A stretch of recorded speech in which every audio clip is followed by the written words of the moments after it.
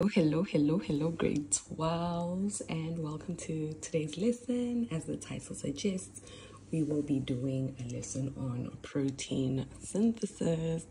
As a student, this was one of my favorite topics because of how exciting it was. And it was so interesting. Like, oh, okay, so these are how proteins in our bodies are made. But without further ado, let's get into it. Okay, so this is just a brief overview of protein synthesis, how it works. So, what you need to know is that protein synthesis occurs in two stages, namely transcription and translation. And also, um, there's just some key terminology that you need to know. Um, you need to know, firstly, what amino acids are and that is basically the smallest piece. We would call it in biology a monomer of proteins. So proteins are made of amino acids, right? Okay, cool. And then you need to know what a base triplet is. And if you remember from DNA replication, a base triplet is basically three nitrogenous bases um, that occur on DNA. Base triplet triplets, and then transcription, which we'll go into more details about, translation, which we'll also go into more details about, and then there's something called a codon. We will also you'll also be learning more about that when we get into the phases, and there's also an anticodon. So familiarize yourself with that terminology because you will be using it or reading a lot about it when you are answering or studying on protein synthesis. So, transcription. Transcription basically is very like in terms of the stages and the steps very similar to DNA replication. So if you studied your DNA replication and you know your DNA replication, it's it's gonna be easy. But yeah, let's just go into it without wasting time. So first things first, you need to know that transcription happens in the nucleus. All right? Transcription happens in the nucleus. Okay, so what will happen first? I hope you can see the pointer. Um, yeah, what will happen first is that similar to DNA replication, the DNA will unwind. And as it unwinds, you know that there are weak hydrogen bonds so the weak hydrogen bonds between the nitrogenous bases will break, which will result in it basically unzipping. And then you now have two separate strands. But now one strand will act as a template to form a complementary strand of which we call messenger RNA. So this strand will carry the message from the nucleus. Basically, it will carry the instructions of how the protein needs to be built, which is why we call it messenger RNA. And how this happens is that here in the in the nucleus, we have something called the nucleoplasm, and the nucleoplasm has, you know, free RNA nucleotides. So these free RNA nucleotides um, will pair or will bond with the complementary um, mRNA um, strand. So, yeah. And then, okay, so this is the strand, for example, that acts as a template. And then the free nu nucleotides, let's say here, there was cytosine, this, this nucleotide tide was cytosine. I mean, this nitrogenous base, sorry. this nitrogenous base was cytosine. So, A, the RNA nucleotide for guanine will come and bond with that, you know? So, yeah. Once that has been completed, the mRNA moves out of the nucleus through the nuclear pore into the cytoplasm where it will attach to a ribosome. That is the end of transcription. So the key key things that you need to know is transcription is where the mRNA is formed. Okay, so now we get on to translation. So basically, we're now at a point where the mRNA has attached itself to a ribosome. So there will be tRNA, which is known as transfer RNA, that is found in the cytoplasm, which will bring the complementary anticodons to the mRNA's codons. And basically, these anticodons have a specific amino acid. So, whichever amino acid or the anticodon, whichever one is brought by tRNA, it is according to the codons that are on mRNA, which is why we say that mRNA has the message because basically it runs the show. It says, um, I want cytosine, I want guanine, you know, type of thing. So it, it's brought according to the codons that are on mRNA. And then these amino acids that are brought are linked by a peptide bond to eventually form the required protein. And basically, a protein is formed when there are 50 or more amino acids. We then say a protein is uh, formed. Okay, so now we just need to go into more details on the differences between the three. There's base triplets, codons, and anticodons. And the definition for the base triplets would be a sequence of three nitrogenous bases on the DNA molecule. Um, yeah. It's found in the DNA. I actually don't really like reading, but I've noticed that some people are like, um, I should go over it. So yeah, but you just need to know the difference between the three.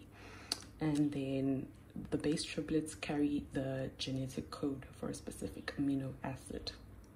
And then codons. So base triplets happen uh, on the DNA molecule. Codons are on the mRNA. And then anticodons are on the tRNA. So they are complementary. Anticodons will be complementary to codons, if that's me, if that's that makes sense. Codons found in mRNA, anticodons found in tRNA. Codons basically carry the code, right? They code they carry the code for a specific amino acid, and then the anticodon bring the complementary amino acid so that it can be added to the protein chain. So, yeah, that's the difference. Okay, this table. Please know how to fill in the table. You do not need to know the names of the amino acids, those will always be given to you. You don't even need to know like the sequence. However, you need to know how to complete it.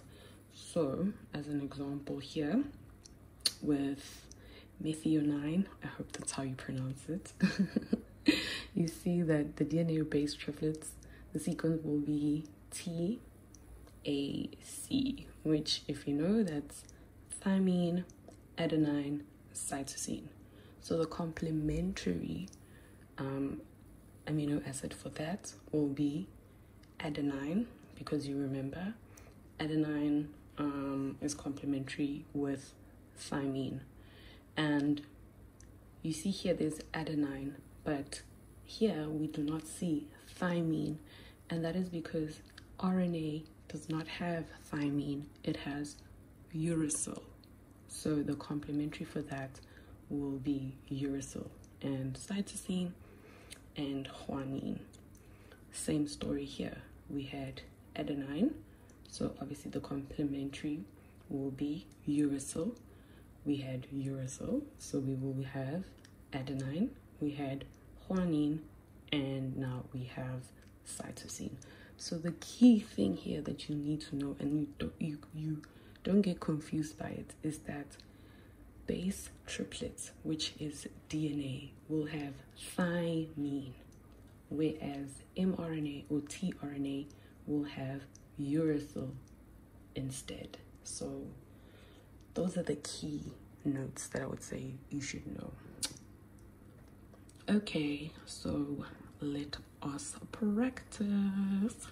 So this is what a typical exam question would look like. They'll be like complete it or they'll give you a multiple choice question where they've given you possible um, amino acids and you just need to figure that out.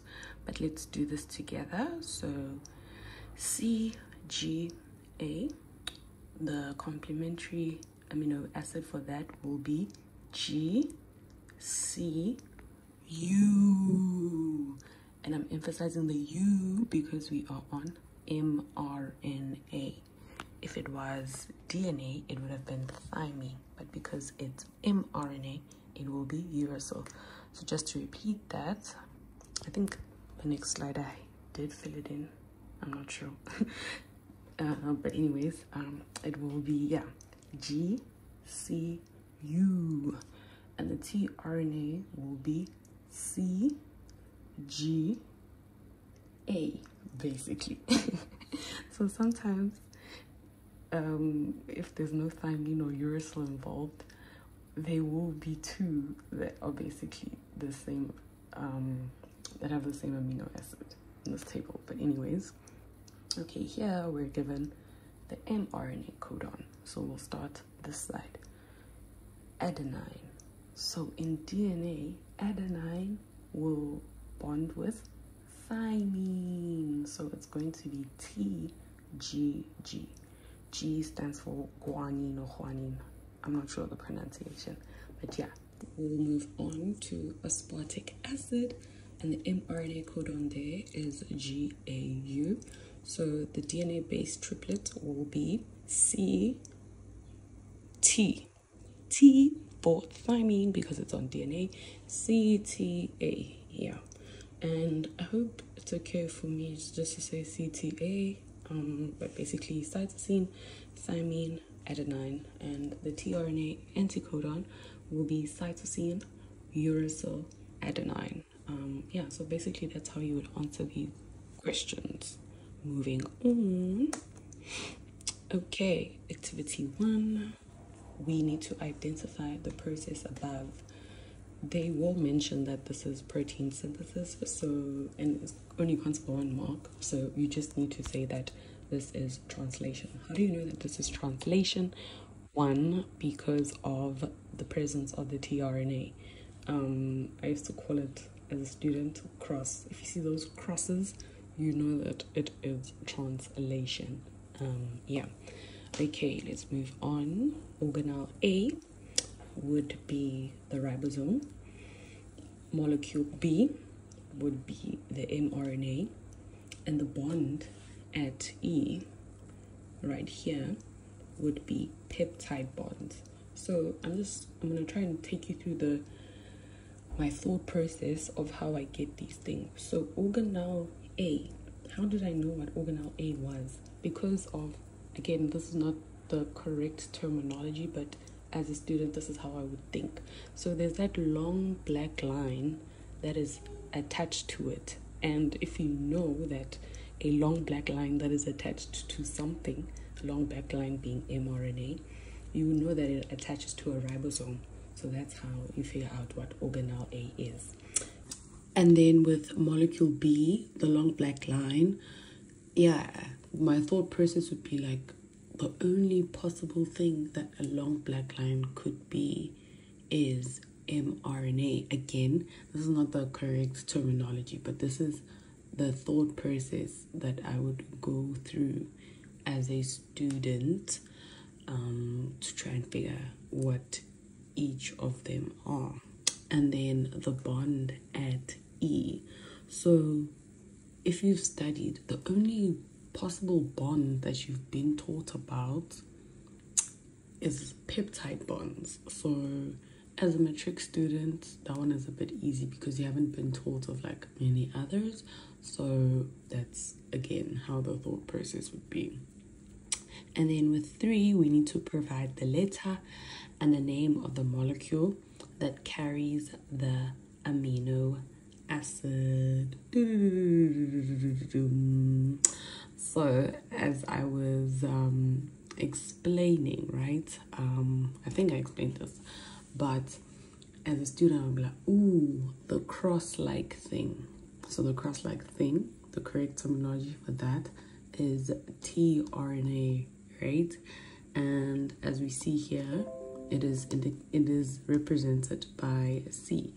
So it would be C tRNA and then is the monomer of a, a protein. So if you were able to figure out A, that answer kind of gives itself away. So that will be D, which is carried by tRNA basically. So the answer is D. Okay, for question four, we need to name and describe the process occurring in the nucleus. So you'd highlight that, which results in the formation of the mRNA molecule. So the process, firstly, that occurs in the nucleus and results in mRNA is a process known as transcription. So that's one mark. And then we also need to describe it. So basically, with transcription, the first thing that happens is that the DNA double helix unwinds, and because of that, the weak hydrogen bonds between the nitrogenous bases are going to break, and then the DNA unzips, where one strand will act as a template, and this template will be used to then form the mRNA, and that happens with the free RNA nucleotides that are in the nucleoplasm. I explained this a bit earlier in more depth, but yeah, you would just basically describe the process of transcription there. Okay, so the table below shows the different amino acids, and we need to give the correct sequence of the amino acids for the DNA triplets one, two, three. So here we're just finding the complementary. So basically, if it's TAC, the DNA triplet one will be ATG. So I'm sure by now you know that stands for adenine, thymine, and guanine. So with triplet two, it's going to be A, G, A, and with triplet C, it's going to be GGT. It would have been a completely different case if they asked us for mRNA or tRNA, whereas, for example, um, it would have been AUG, AUG, because in RNA we have uracil instead of thymine. That is a wrap for this video. Um, there's other aspects of protein synthesis, such as mutations, which I have not covered in this video, but you do need to know that as well because it is examined. But I do hope this short video helped you, and thank you so much for tuning in. Bye.